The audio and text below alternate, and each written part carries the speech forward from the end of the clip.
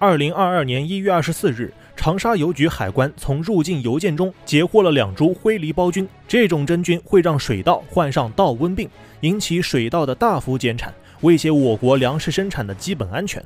水稻是中国十四亿人口最重要的主食，而我国的杂交水稻工程技术研究中心就位于长沙。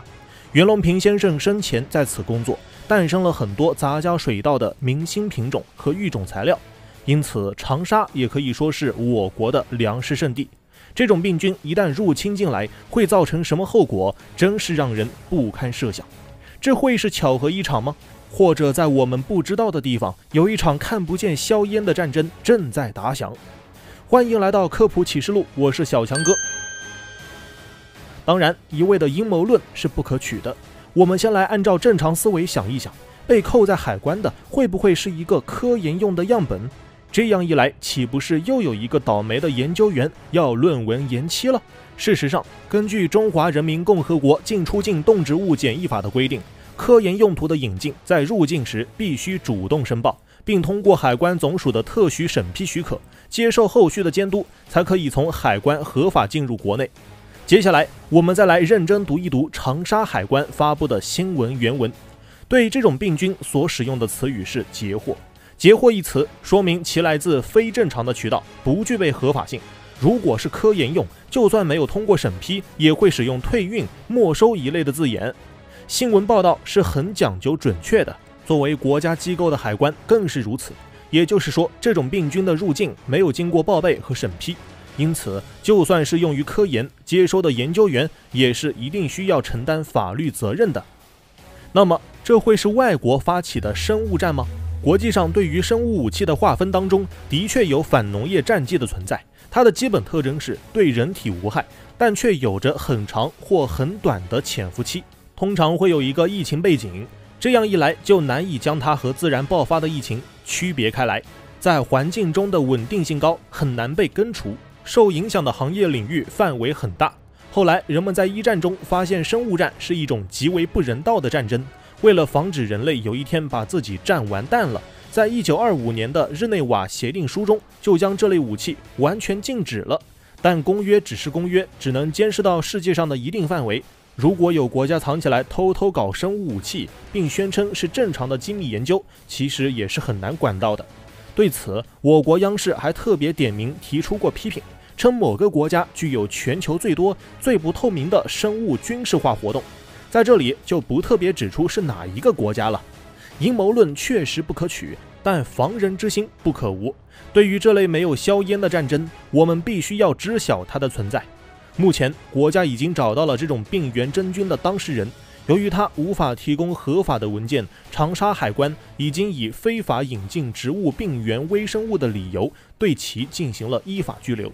而关于这个包裹的寄件人是谁，来自于哪里？根据最新调查，已经锁定是一个来自法国的农业国际合作研究发展中心，和我国中科院享有合作。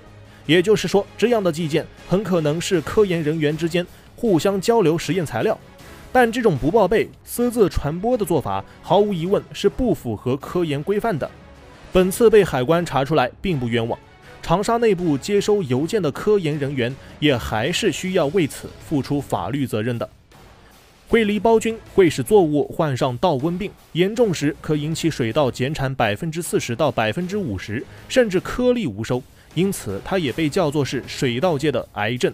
不仅如此。稻瘟病的病原菌是一种子囊菌，感染性很强，不仅危害水稻，还能感染小麦、裸麦、大麦、玉谷等等作物。感染了稻瘟病的作物叶片上会出现黄绿色、无光泽、形似发霉的病斑。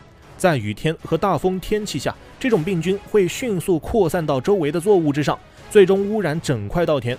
假设这种病原菌进入了中国境内。由于我国正值寒冷的冬天，它不会立刻爆发，而是会休眠在稻草和残株中，很难被人发现。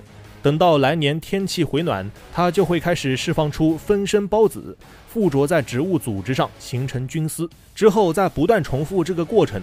它的繁殖只需要有适宜的温度和养分，在空气中就可以以气流传播。一个病斑一个晚上就可产生上千颗孢子。对整片田地造成毁灭性的打击。目前，全球有八十五个国家有稻瘟病发生，每年摧毁的水稻超过了六千万人食用的量，相当于饥饿人口的约十分之一。可惜的是，多年以来，稻瘟病都一直无法被根治。虽然可以使用化学农药，但现在已经有部分灰狸孢菌出现了基因突变，进化出了耐药性。今后想要根除它，只会变得越来越麻烦。让人更加感叹的是，距离种田人袁隆平先生过世还不超过一年，就将这种病菌带入国内，只能说是其心可诛。粮食事业是全人类的事业。推动粮食发展是人类的英雄，相反，阻止人们吃饱饭，对历史倒行逆施，没有比这更加卑鄙龌龊的行为了。这里也不得不感谢我国海关人员的火眼金睛，他们每天要面对繁多的入关物品，从中揪出各种千奇百怪的违禁品，做好核实、登记和上报。这一次也正是海关人员及时的将这种病原菌拦了下来，才没有让它在我们国内的去向变得难以追踪。往严重的方向设想，也可以说他们阻止了中国的一次粮食危机。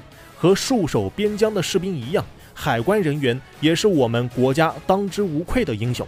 虽然只是虚惊一场，但今次是不报备的科研交流，下次是否就会是动真格的阴谋呢？